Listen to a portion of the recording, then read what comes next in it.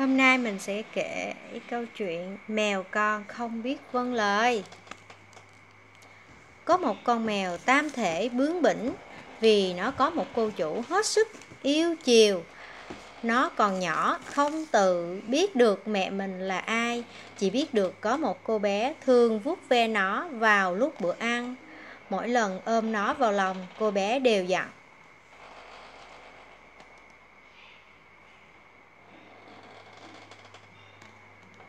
Mèo ơi, hãy ngoan nhé, đừng đi chơi xa, lạc đường, sẽ không biết được lối về đâu. Mèo con dạ vâng, nhanh nhẩu, nhưng hình như nó chẳng bỏ vào tai những lời cô bé nói. Một hôm, cô bé có việc phải đi chơi xa, mèo ở nhà một mình. Nó liền chạy vào cánh rừng gần nhà, hết đuổi bướm, đuổi chim, lại vò những chiếc lá khô. Mãi chơi cho đến khi trời sập tối, nó mới nghĩ đến chuyện về nhà. Nhưng trời đã tối đen, mèo mới nghĩ đến chuyện về nhà. Nhưng trời đã tối đen, mèo không biết phải đi theo hướng nào. Nhìn xung quanh chỉ thấy cây và cây. Bốn bề vắng lặng, bỗng có tiếng cú từ đầu vang lên nghe rất ghê rợn. Mèo sợ run cầm cập rồi ngồi bệt dưới gốc cây và khóc. Mèo, mèo. Thỏ đi ngang qua nghe tiếng khóc dừng lại hỏi. Ai làm sao mà khóc thế? Em không biết đường về nhà. Mèo trả lời. Em là ai? Mẹ em đâu? Không biết, không biết. Mèo, mèo. Mèo, mèo. Thỏ vẫy đôi tai dài và nhọn, nhìn mèo ngẫm nghĩ một lát, hỏi tiếp. Thế em có biết nhảy không? Có. À, thế đúng rồi. Đúng là họ nhà anh rồi. Đừng có khóc nữa, hãy theo anh về nhà thôi. Mèo mừng quá liền theo thỏ đi được một chặng. Thỏ liền quay lại hỏi, này, sao tay em lại ngắn thế? Ngắn hơn tay anh, mèo trả lời. Tay em ngắn hơn nhưng cũng nhọn như tay anh đấy. Về đến cửa hàng, thỏ gọi mẹ. Mẹ ơi, con tìm về được một em thỏ rừng. Một em thỏ trong rừng đây này. Thỏ mẹ nói vọng ra. Cho em vào, hai anh em ăn đi rồi đi ngủ, tối rồi. Thỏ còn cầm lấy một cái lá cải ngoắm ăn ngon lành và đưa cho mèo một lá dục ăn đi. Mèo cầm lá cải trên tay nhìn thỏ ăn ngon lành mà hai hàng nước mắt ròng chảy nó miếu máu. Em làm sao mà ăn được thứ này? Nghe tiếng khóc mẹ thỏ chạy lại nhìn mèo một lát rồi lắc đầu.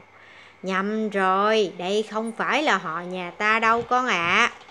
Rồi thói mẹ gọi mấy bà hàng xóm sang.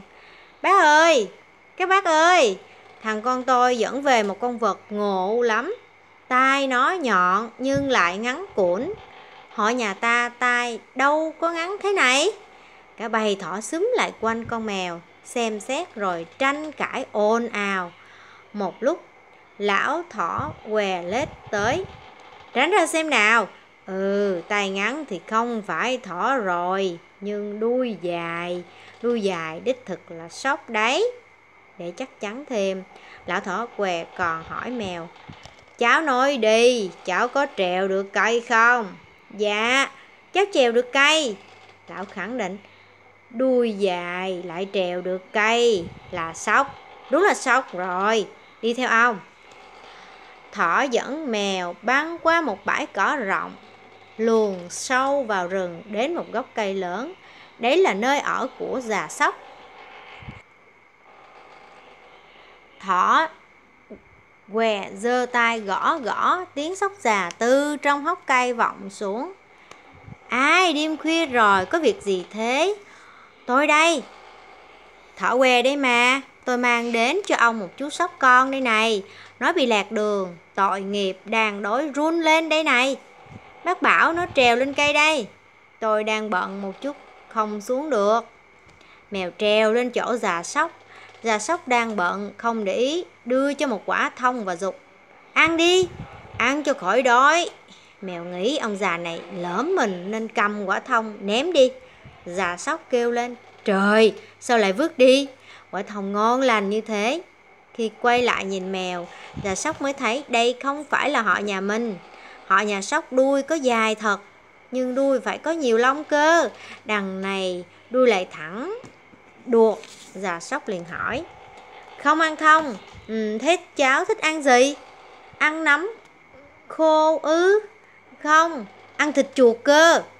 Hơi bực mình, già sóc gắt nhẹ.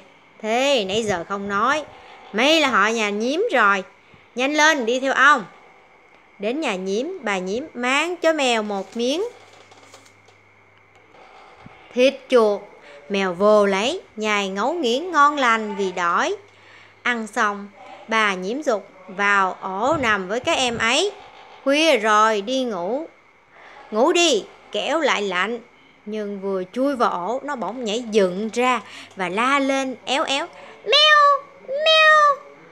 Ừ cái gì như đùi đấm vào da thịt nó?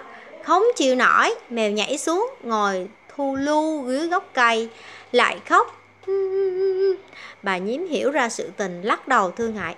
Thỏ không phải, Sóc không phải, Nhím cũng không phải Thế thì họ nhà ai nhỉ Mèo không biết nên chỉ khóc, Mèo Mèo Nhưng vì quá mệt Cơn buồn ngủ lại kéo đến nên bà nhiễm bực mình mắng.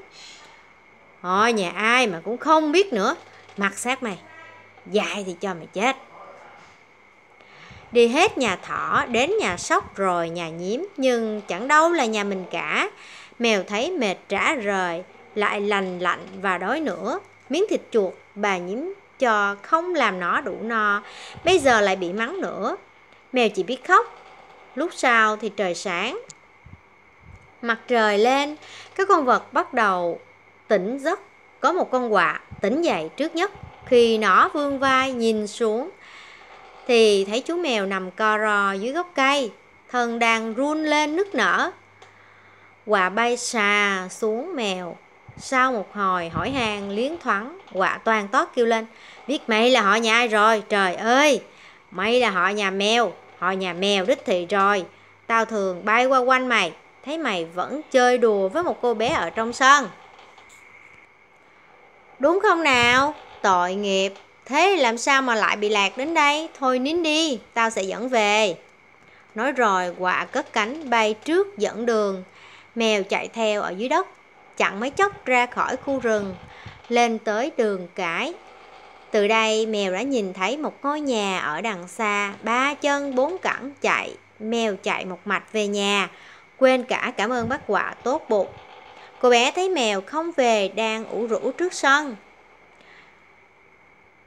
thấy lại cô chủ mèo vừa mừng, vừa thấy hối hận, nó chạy lại cổ cô bé, níu lấy áo cô bé và khóc méo máu chị ơi, em xin lỗi chị, lần sau em sẽ không dám trái lời dặn của chị nữa đâu ạ. À.